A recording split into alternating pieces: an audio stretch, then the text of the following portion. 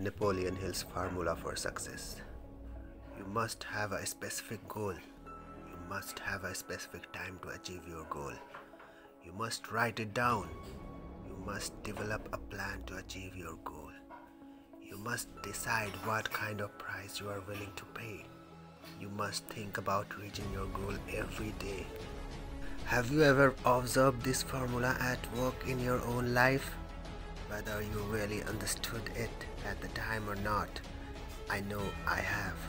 Whenever I have followed these principles, I have had greater success in achieving my goals.